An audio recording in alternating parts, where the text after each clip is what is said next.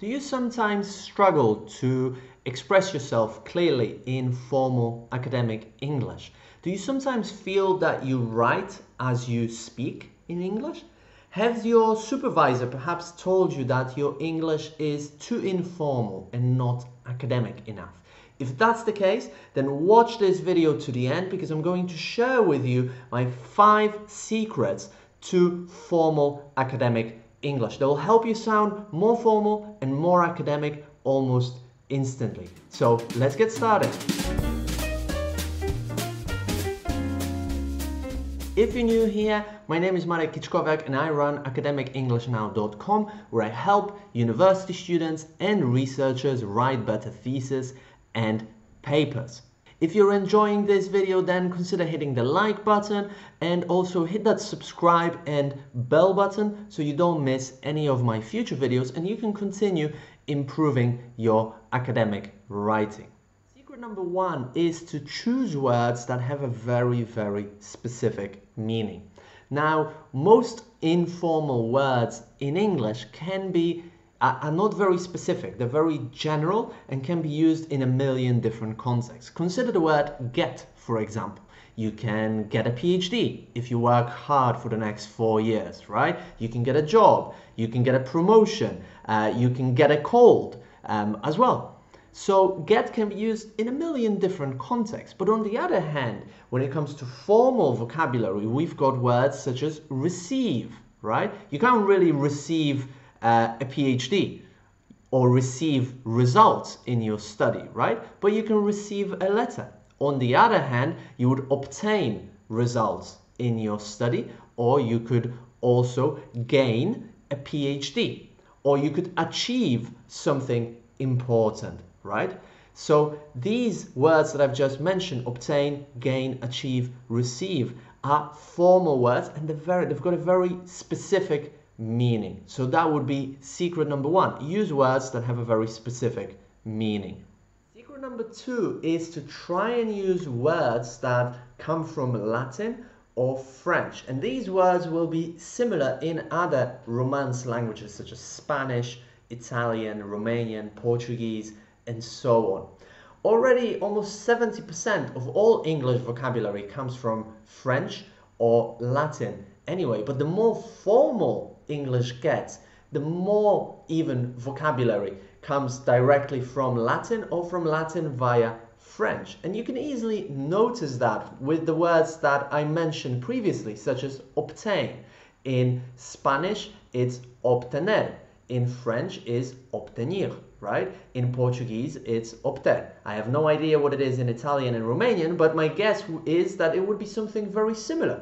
Same with receive, right? Um, in Portuguese is receber, right? In French is recevoir, and so on. And there are a million, million other examples. So what you want to do if you speak one of those languages is rather than worry about all the mistakes that your first language might be bringing, so think more positively. Think about the formal vocabulary in French or in Spanish or in other Romance language that you know, and then use it in English and this will help you make your English more formal and academic. Before I get to the next secret, I just wanted to show you something very quickly that I think will really help you improve your academic vocabulary. And in here I'm talking about my free ebook with the 100 most common academic phrases. This ebook will um, help you write more formal academic English, it has been divided into all the sections that you need to include in your thesis or in your paper and contains really the most frequent phrases used in those sections. So if you want to download it completely for free, just follow the link right below this video. Secret number three, guys, is to avoid phrasal verbs. What are phrasal verbs? Well, they are basically verb plus preposition. And there are a few phrasal verbs that you can use in academic writing, like for example, point out or look at, but they are in a minority. The vast majority, over 90% of all phrasal verbs that there are in English and that perhaps you've been learning because your teachers in school uh, have wanted you to learn those phrasal verbs, now you need to forget about them because they are informal. And instead, try to look for synonyms, one word synonyms of these phrasal verbs. Preferably that have a very specific meaning and will typically come from Latin or French. To give you an example, rather than help out, which is a phrasal verb, you could say assist, right? Which has a very specific meaning. It's more formal than help out. And it also comes from Latin or French. So tip number three, avoid phrasal verbs, please. Secret number four, guys, is to also not overuse I or we. I'm not saying you should never use I or we, and there are certain fields such as um, anthropology, certain other social sciences where, where the use of I or we might be more appropriate. Having said that, you still should try to use passive voice. What is passive voice? It's basically the verb to be plus the third form or the past participle. To give you an example, rather than say we conducted the study in China, you could say the study was conducted in China, right?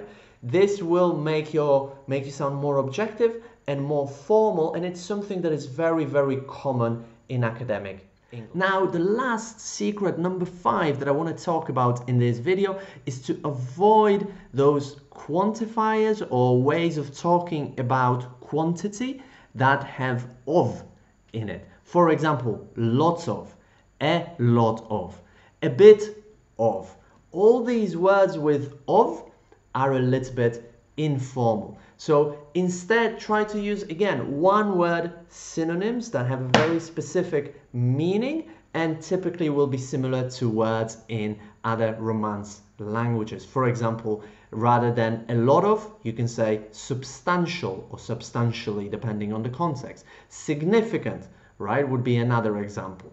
If you enjoyed this video, please don't forget to subscribe to the channel and also hit that little bell button so you get notifications whenever I post a new video and you can continue learning with me here.